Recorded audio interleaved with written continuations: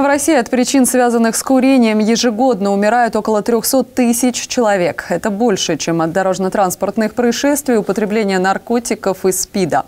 По статистике, в нашей стране курят около 40% населения. 31 мая ежегодно во всем мире отмечается Всемирный день без табака. Я начал с 20 лет курить. А почему до сих пор не бросили? Это не так просто, это привычка. Утром встанешь, в руку в карман, ты сам не чувствуешь.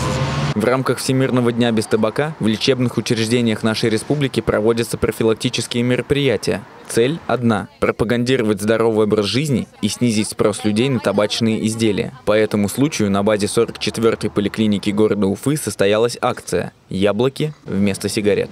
На сегодняшний день Россия является самой курящей страной в мире.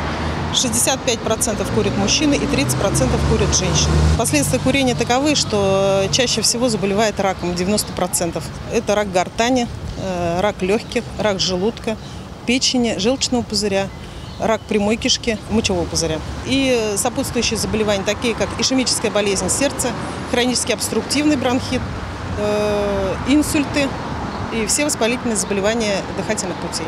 Специалисты говорят, что за последние 10 лет статистика показала уменьшение курящих людей на 10 миллионов человек. Скажите, пожалуйста, вы курите? Нет, не курю. А почему не курите? Потому что это вредно, во-первых, для здоровья. Во-вторых, это нехорошо очень сказываться на окружающих. А вы бы хотели бросить курить? Ну да. А не получается? Да получается просто. Не вижу смысла пока.